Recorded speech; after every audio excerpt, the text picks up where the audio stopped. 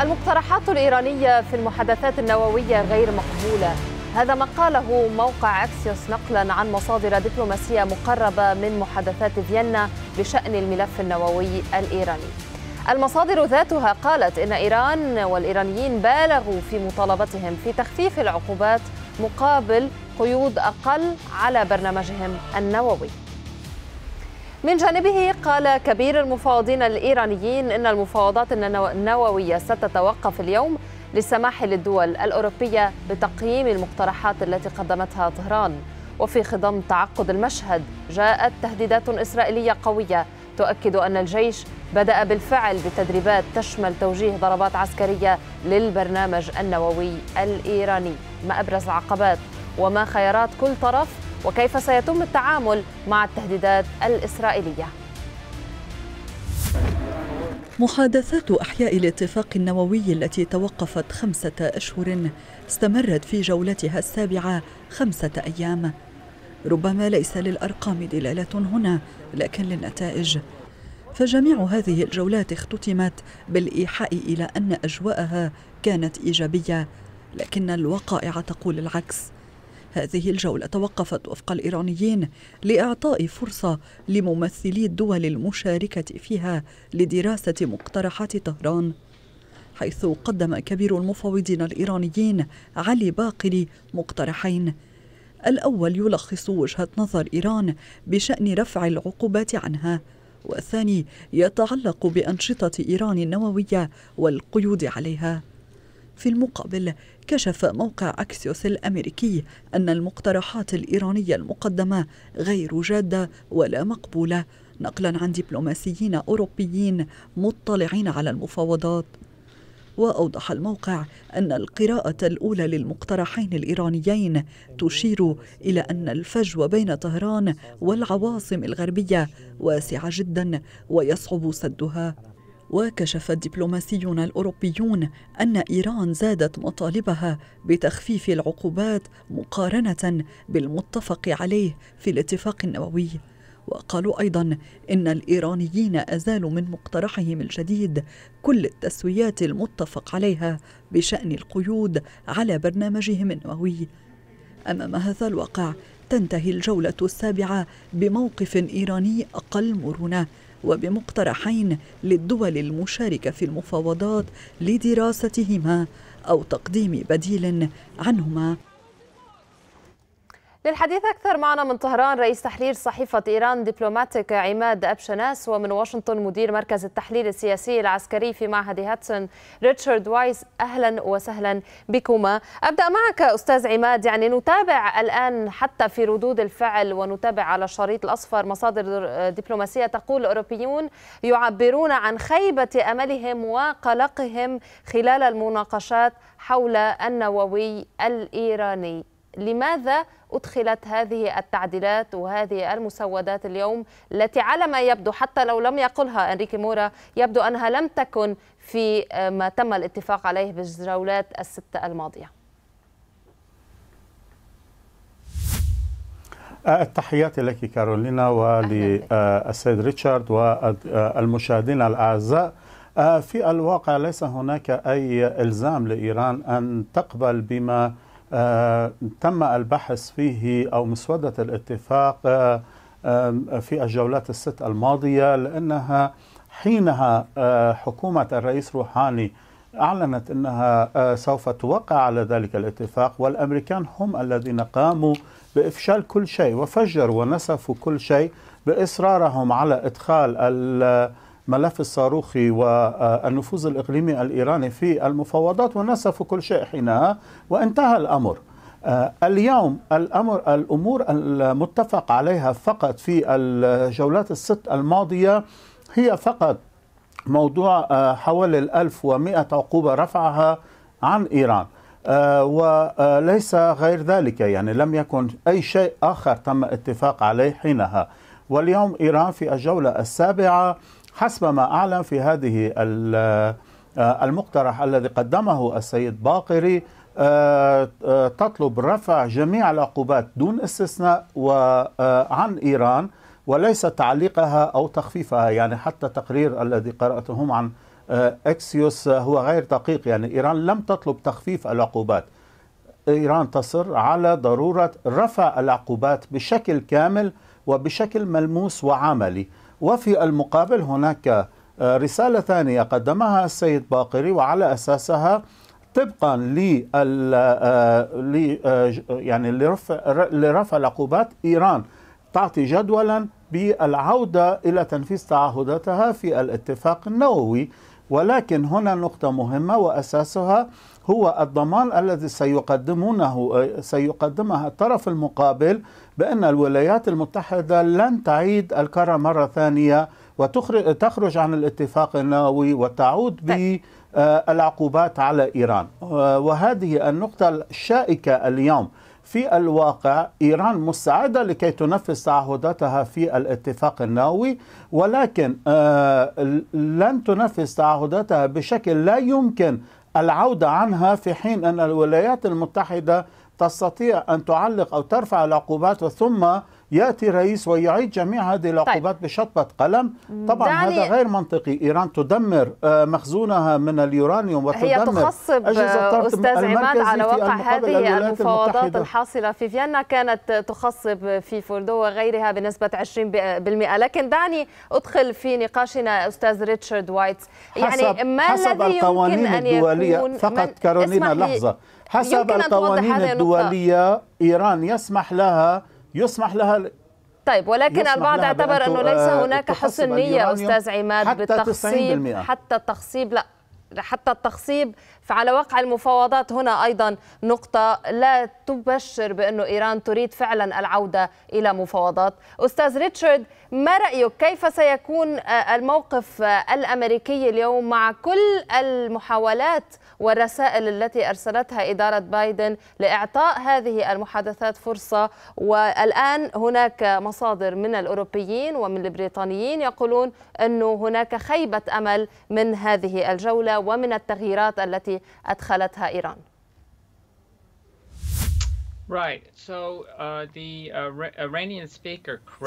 طبعا لقد أوضح السيد عماد حقيقة بأن هناك خلافين كبيرين ومهمين بين موقفي الولايات المتحدة وطهران.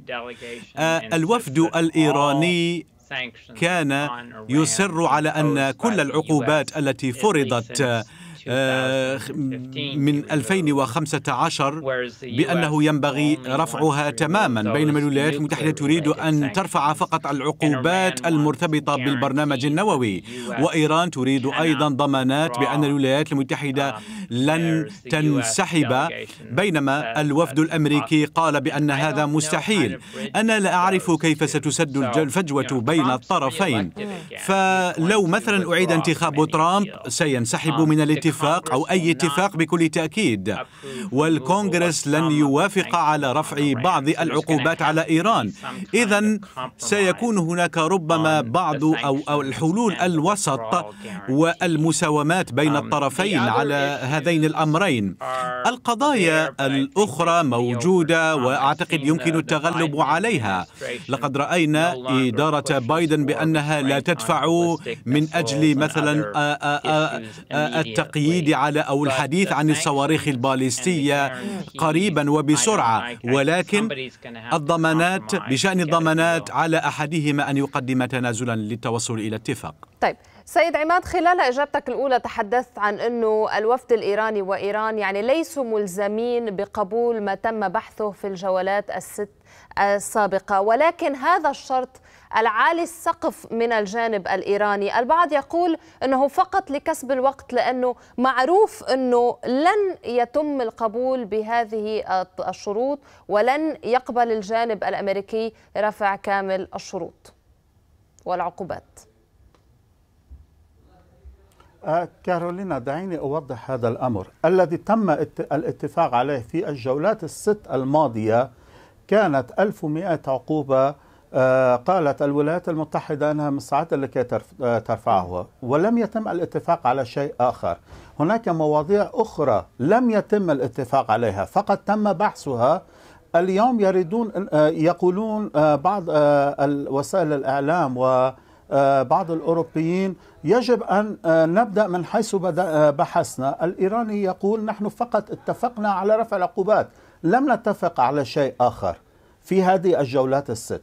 أما بالنسبة لموضوع تخصيب اليورانيوم والخطوات التي تحصل اليوم عمليا إيران المتحدث باسم منظمة الطاقة الذرية الإيرانية أعلن صراحة إن إيران لديها التكنولوجيا لتصنيع السلاح النووي منذ مدة طويلة يعني منذ سنوات لربما أو منذ أشهر. أنا آه، لست خبيرا في هذا الشأن ولكن حسب كلامه هو قال نحن لدينا هذه التكنولوجيا ولكننا لم ولا نريد تصنيع هذا السلاح. اليوم إذا ما كانت إيران تقوم برفع مستوى تخصيب اليورانيوم هو اولا وفقا لجميع آه، آه، المقررات القوانين الدولية التي تسمح لإيران أن تخصب اليورانيوم على أي مستوى تحتاجه أن يكون لديها أجهزة طرد مركزي بأي موديل تحتاجه ويكون لديها برنامج نووي كامل. إيران في الاتفاق النووي آه، قبلت أن تحد, تحد من برنامجها النووي مقابل رفع العقوبات عن إيران. إذا لا يكون هناك رفع عقوبات عن إيران لماذا على إيران أن تحد من برنامجها النووي وتحد من حقوقها الدولية؟ هذا ما يقوله الإيراني عبر زيادة تخصيب اليورانيوم وتركيب أجهزة طرد مركزي جديدة. طيب. إذا تم رفع العقوبات عندها إيران سوف تعود لما هو موجود في الاتفاق النووي ليس أكثر من ذلك. طيب سيد ريتشارد ما رأيك؟ يعني هل اليوم المواقف الأمريكية إن كان للجمهوريين أو للديمقراطيين آه، موحدة فيما يتعلق بالعقوبات؟ لأنه البعض يقول أنه حتى هذا آه، يعني آه، عدم التوافق الداخلي الأمريكي أيضا يعطي إيران مزيد من يعني الوقت للمناورة في هذه النقطة تحديدا.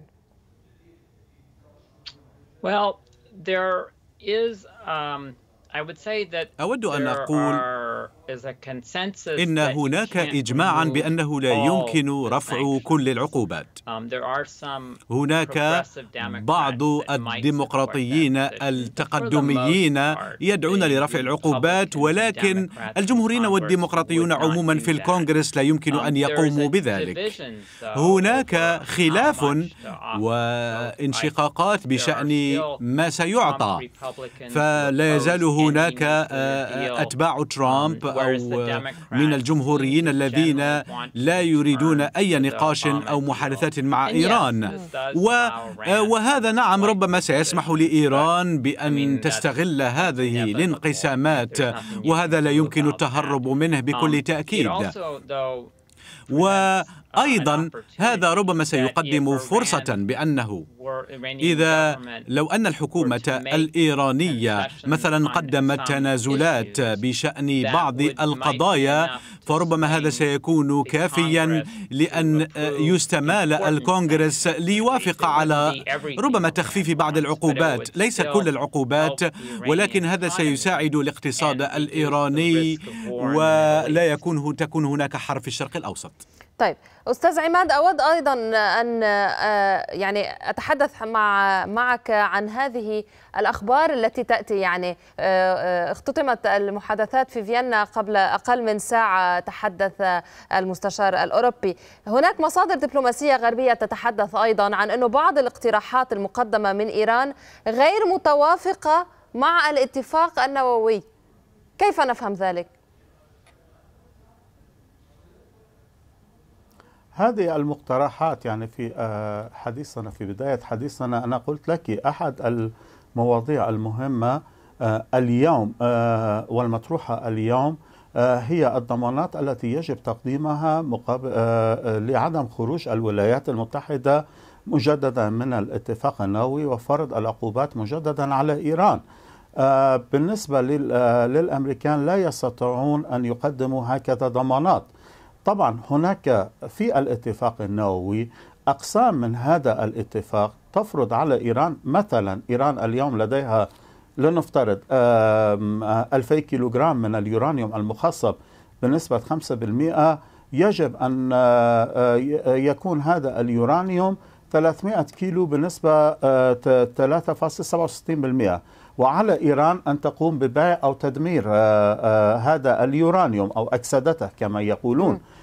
طبعا عندما تقوم إيران بأكسدة هذا اليورانيوم هناك يعني يعني تكون تكون قد خسرت اليورانيوم. ولكن الأمريكان ممكن لهم في لحظة أن يعودوا بالعقوبات على إيران بما أنه ليس هناك ضمانة، اليوم إيران تقول أنا هذا اليورانيوم أجهزة الطرد المركزي الحديثة وغيرها نستطيع أن نقوم باتفاق عليها. مثلا أنا اقولها نضعها في مكان تحت إشراف المنظمة الدولية للطاقة الذرية لا تكون بيد طب لما لا تركز يعني فقط على رفع العقوبات المتعلقة بالنشاط النووي أستاذ عماد؟ يعني لإظهار حسن النية لتقريب وجهات النظر. الموضوع ليس نعم الموضوع ليس موضوع رفع العقوبات بالنسبة في الاتفاق النووي عام 2015 كان يجب أن تقوم الولايات المتحدة برفع جميع العقوبات عن إيران العقوبات المتعلقة بالبرنامج النووي عن إيران ولا تعيد فرضها بأي عنوان آخر.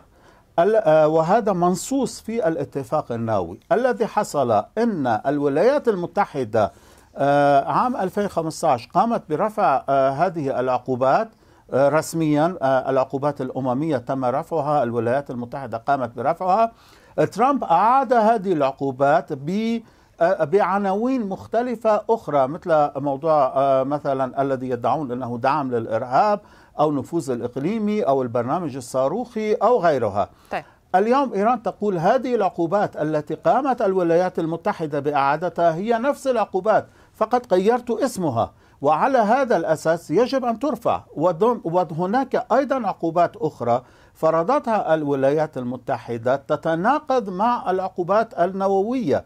يعني عمليا اليوم حتى لو قاموا برفع العقوبات النووية عن المصرف المركزي الإيراني هناك عقوبات مترادفة تفرض عقوبات على المصرف المركزي الإيراني. وهذا يعني أن العقوبات لم ترفع.